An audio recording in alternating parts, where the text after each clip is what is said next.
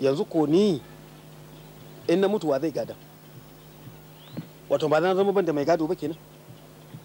Kai lallai magana na da liman ya faɗa magana gaskiya ce. Yanzu abin da zan yi shine kafa da kafa in tashin tafi gidan boka.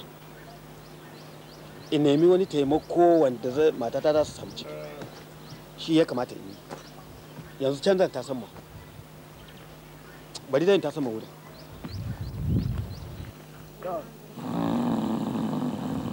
Salamu alaikum boka.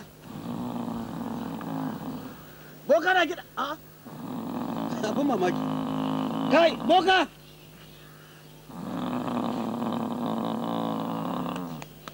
A'a haba boka.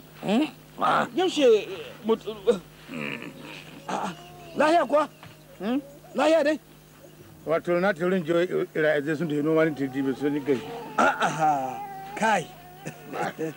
Ban zan hon aboka kana laya aya na boka kai kai kai kai kai kai wallahi duk duk karkar ga noma noma akai duk wallahi gaskiya ne wallahi duk noma akai karkar ga to wato yau dai sauri dai nake to abin da ya kawo ni shi nake son sanar da kai to ina sauraren ka yawwa wato wani babban taimako nake so da kai wanda yake tun da Allah ya haɗa mu da ni da kai baka taba baka taba yi mini irin shi ba. Nake son an- wannan karo kai mishi. Samu dace.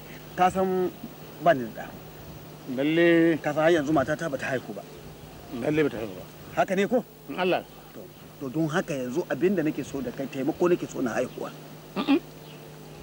To ai wanzan kai sa'a.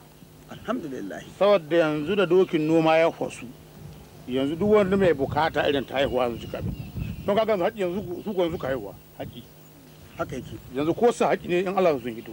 Gaskiya ne. To cikin wannan buƙata sai mutum ya je wata yi. Da kyau. Ka gane ko? Yanzu kai naka mai sauƙi na. Kana da wani abu nan? A ci gaba da maganar kare a kana wani abu? A dai gaya min da duk abin da ake bi. A a sai ka aza wani abu nan wani dan karhe ko kuɗi da ya ko mina sai ka aza shi. Ko mina na? In ko bi da ɗan kaɗan don saboda ba don adiba sosai. Ko ba kuɗi ba ne? A kuɗin dai ko mina na zai kuɗi kuɗi na a akwai su kai ko boka. To madalla. Ana rasa kuɗi. Ai don shi na kasan su ku ba a kiran buƙata hannu yohi. To.